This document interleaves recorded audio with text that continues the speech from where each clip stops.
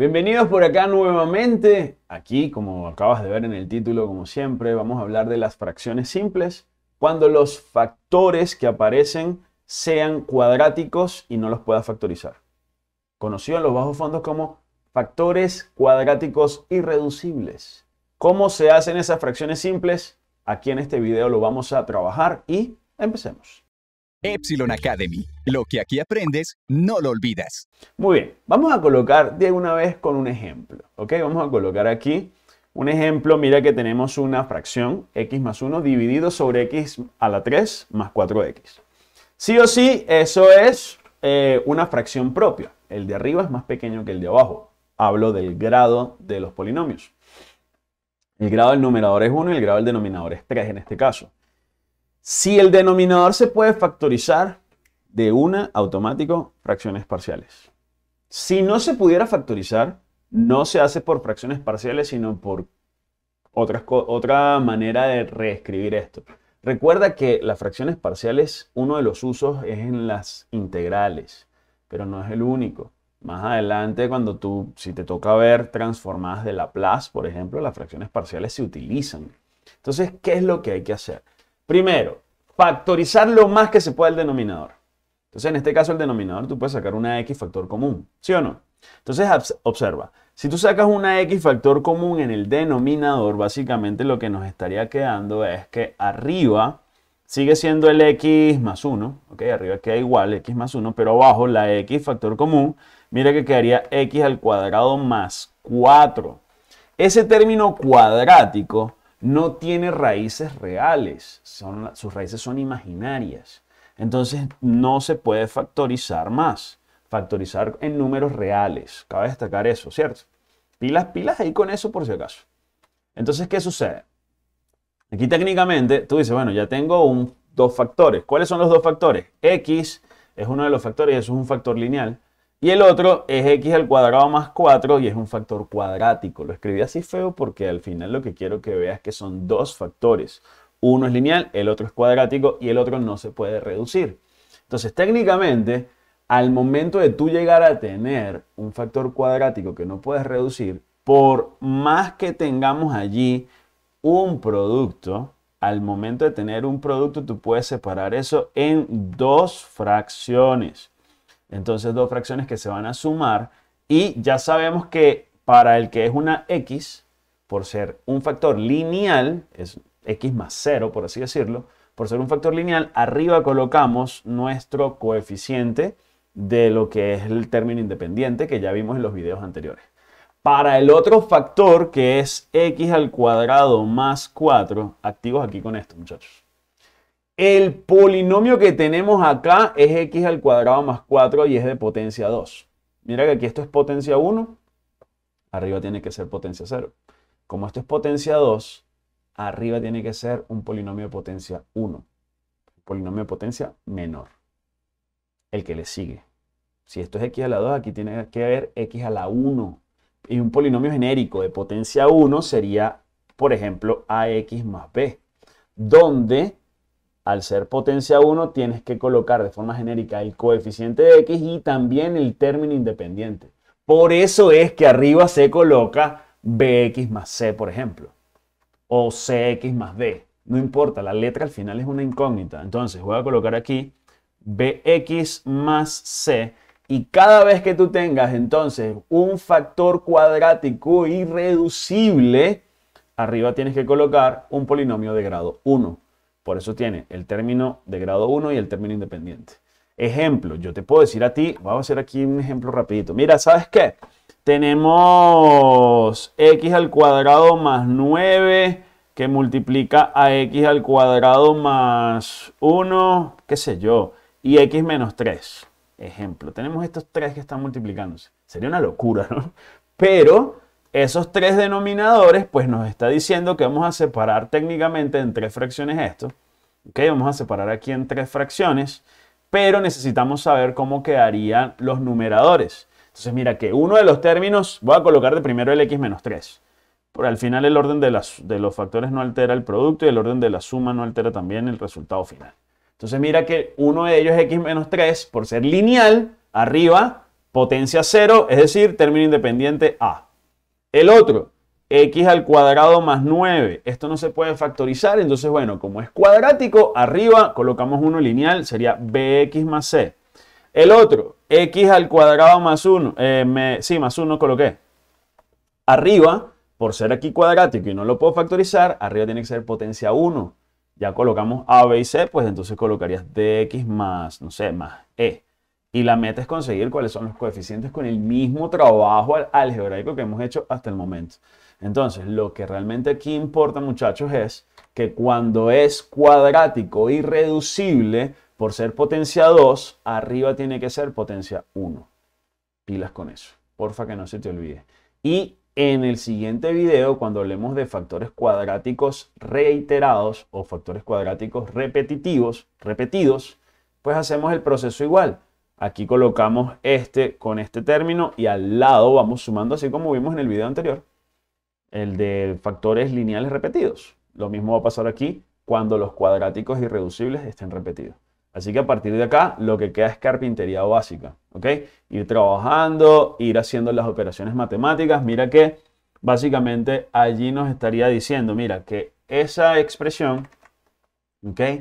Va a ser igual a quién? A, ese a esa suma de fracciones básicamente. ¿Qué quedaría en el denominador? x que multiplica a x al cuadrado más 4 y multiplicas en diagonal, quedaría a que multiplica a x al cuadrado más 4 más el bx más c que multiplicaría el otro denominador que en este caso es x, que en este caso es x, ojo. Entonces mira que ya al final, es, a partir de allí es más de lo mismo. Si viste los videos anteriores que están con mucho más detalle, mucho más detallado, vas a poder irlos trabajando. Aquí simplemente lo que te voy a decir es que, bueno, este denominador, que es el producto de estos dos panas, este denominador es este y por lo tanto es lo que tenemos allá. Es decir, que yo podría quitar ese denominador de allí y decir que es exactamente ese x más x a la 3 más 4x. Ya tenemos que nuestras expresiones son de denominadores iguales, pues obviamente obligamos a que los numeradores sean iguales. Entonces x más 1 toca que sea exactamente igual a esta cosa que está aquí. Yo voy a multiplicar de una vez distributivamente ax al cuadrado más 4a. Entonces mira, voy a colocar aquí ax al cuadrado más 4a, ¿ok? Y por otro lado vamos a tener bx al cuadrado, ¿ok? Más bx al cuadrado más cx. ¿De acuerdo? Mira cómo multiplicaríamos aquí este por este y este por este. ¿Qué nos quedó? Esto que está aquí abajito y mira que es lo que necesitamos obligar a que sean iguales y esto se puede reescribir. Mira que x al cuadrado lo puedes factorizar y quedaría de esta manera. x más 1, ¿sí? x más 1 sería igual a quién? A a más b x al cuadrado más cx más 4 veces a. Y de allí vamos a saber quién es a, b y c, pero así, rapidito. Vamos a sacar la cuenta para que veas cómo es la cuestión. Para saber quién es a, b y c, vamos a ponerme yo aquí más chiquitito y acá, exacto, ahí quedaría bien. Mira que a más b x al cuadrado, te preguntas, ¿del otro lado hay x al cuadrado? No. Por lo tanto, a más b tiene que ser igual a 0. ¿Qué significa que a más b de igual a 0? Que a y b tienen que ser números de igual tamaño, pero de signos opuestos. En otras palabras, pues de aquí podemos decir nosotros que a es igual a menos b o viceversa. ¿Sí o no? O b es igual a menos a. Ya ahí tenemos esa conclusión. Mira que después tiene cx. Cx es el término de potencia 1 y allá x, el coeficiente es 1. Es decir, que C vale 1. Entonces automáticamente C es igual a 1. Y por último, 4A es igual a 1 también. Mira que el término independiente es 4A. Por lo tanto, allá colocamos que 4A es igual a 1. Y de allí podemos sacar de una vez quién rayo sería A. Mira que si 4A es igual a 1, A es igual a un cuarto. Y si A es igual a un cuarto, people, B, eso implica que B es igual a menos un cuarto, porque al final un cuarto menos un cuarto da cero. si lo sumo, ¿no? Un cuarto más menos un cuarto, eso da cero. Entonces mira que ya rapidito aquí en este video sacamos quién es A, quién es B y quién es C. Y para nosotros nuestras fracciones parciales quedarían de la siguiente manera. Qué pena la interrupción, la explicación se está poniendo buena, pero antes te quiero invitar a que cuando termines este video ingreses a nuestra página web epsilonacademy.com y conozcas nuestro nuevo servicio Epsilon Plus con membresías mensuales que te traen contenido completamente exclusivo, clases en vivo, más aprendizaje y muchos más beneficios. Epsilon Plus es mucho más que una clase. Ahora sí, te dejo para que sigas aprendiendo así con. Si A, vamos a escribirlo aquí así, en orden. A es igual a un cuarto, B es igual a menos un cuarto y C es igual a 1. Estos tres panitas que están aquí, pues para nosotros lo vamos a utilizar allá arriba. ¿Qué es lo que nos estaría quedando técnicamente? Atención, vamos a colocarlo aquí un momento así. Y me lo voy a llevar un poco más abajo aquí en la pizarra para que hagamos entonces el cierre, la conclusión, por así decirlo que nuestra expresión, lo que estamos buscando nosotros, que es esta fracción inicial, esta que está aquí, al final sería, mira que A por ser un cuarto, la primera fracción puedes decir que es igual a quién? A un cuarto entre x, que es lo mismo que 1 sobre 4x, o un cuarto por 1 sobre x. Tú si quieres lo separas, ¿ok? Ya tú ves cómo te queda mejor escribirlo. Mira que b es menos un cuarto, entonces arriba sí lo vamos a escribir así. Menos un cuarto de x más c, que es 1. Y esto estaría dividido, aquí lo dividimos entre x al cuadrado más 4. Y eso se puede reescribir, de hecho. ¿ok? Tú puedes así, arriba sacar, dejarlo lineal. Algebraicamente, vamos a hacerlo. Algebraicamente lo vamos a poder trabajar mira que si esos son los valores de A, B y C, pues ya lo que queda de ahí en adelante es poder reescribirlo y ya luego en integrales, en Laplace, en lo que necesites, lo vas a poder implementar. Entonces vamos a ver cómo queda el asunto. Vamos a escribir esto un poco más bonito, más decente. Mira que esto sería un cuarto que multiplica a 1 entre x. Ya tú vas a ver más adelante por qué nos conviene mejor describirlo así. Más quién. Bueno, ahorita vamos a ver qué es un menos que voy a colocar allí. Arriba, si yo agrupo eso, sería menos x más 4 entre 4. Entonces sería, te invito a que hagas la, tarea, la actividad. Mira que sería el 1 cuarto que va a salir y va a multiplicar a esta expresión que está aquí. ¿Ok? Mira que sería menos x más 4 sobre x al cuadrado más 4. ¿Ok? x al cuadrado más 4 y básicamente es lo que quedaría. ¿Qué hice? Va a hacer énfasis en esto. Si tú te olvidas de este denominador, menos un cuarto de x lo mismo que menos x entre 4. Si tú sumas las fracciones de esto, sería menos x más 4 sobre 4.